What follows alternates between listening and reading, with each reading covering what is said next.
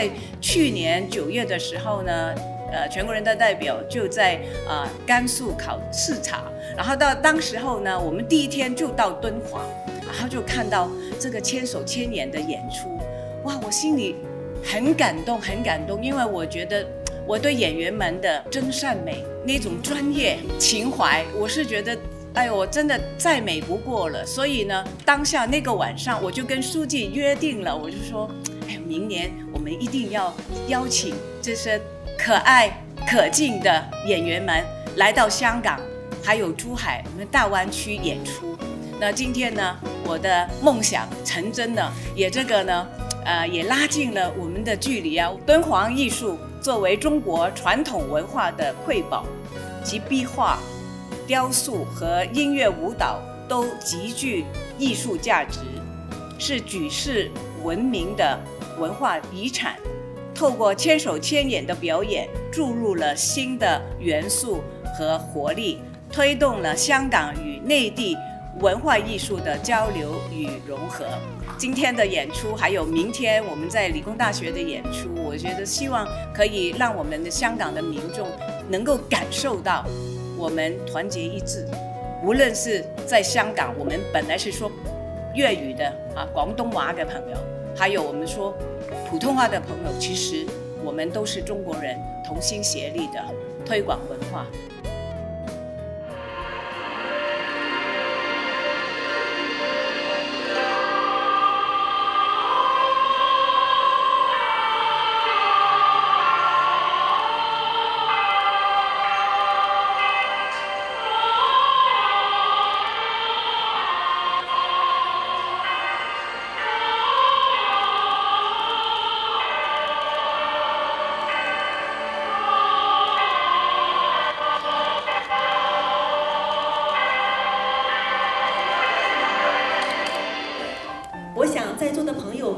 都看过我们的舞蹈《千手观音》，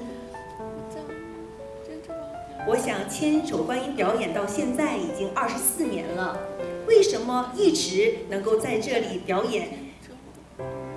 千手观音是我们的中华文化，有着很深的历史意义。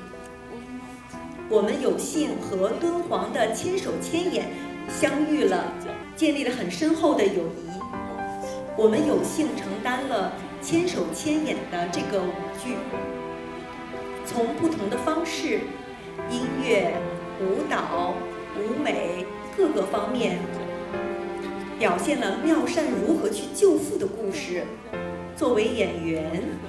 我自己感觉我们有幸能够承担起这个中国的传统优秀文化，同时呢，我们能够感受到。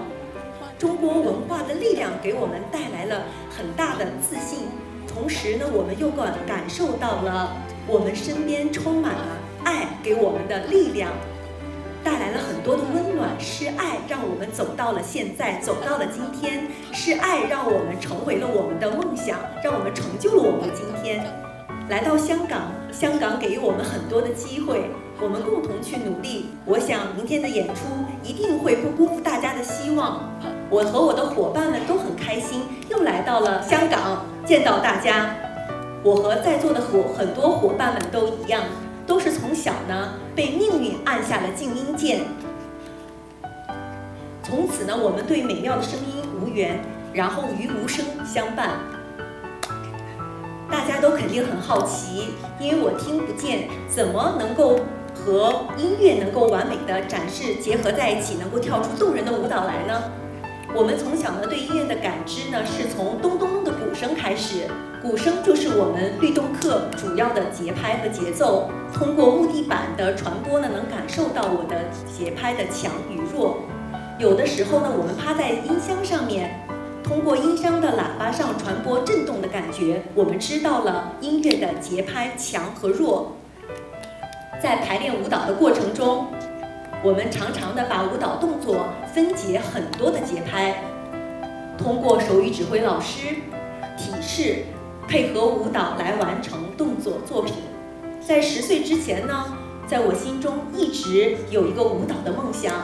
但是家人就觉得我听不见音乐，根本就没有办法去跳舞。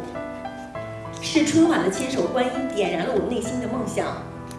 我就是从这一年开始学习舞蹈的。然后呢，十二岁开始我就成为了中国残疾艺术团的一员，认识了好多来自四面八方的伙伴朋友们。我们都有同一个梦想，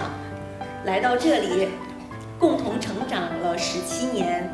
就像刚才唐丽华团长说的，是来自社会各界的人士关爱和关心，为我们搭建了这个舞台，让我们在梦想的舞台上去实现自己的人生价值。这就是我们带来给大家看的《千手千眼》这个作品呢，是在我的梦的基础上，融合了世界文化敦煌壁画、莫高窟第三窟，为大家带来视觉的盛宴。